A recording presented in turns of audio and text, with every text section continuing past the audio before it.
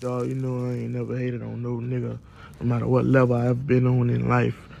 My, I just wanted to paint the picture of how in my life I made motherfuckers believe, you know what I'm saying? Because the same labels who I was going to sit down with and, and, and try to explain to them my vision and my pain and what and, and the people that, you know what I'm saying? They're the same motherfuckers who who they, they laughed at me, you know what I'm saying? They ain't understand it and they wasted me and my team time, had us in the offices and shit, playing games with a career, you know what I'm saying? So fast forward now, 2021, you know what I'm saying? These the same motherfuckers standing ten toes behind that kind of shit, which I salute and congratulate, you know what I'm saying? It's just crazy to me, you know?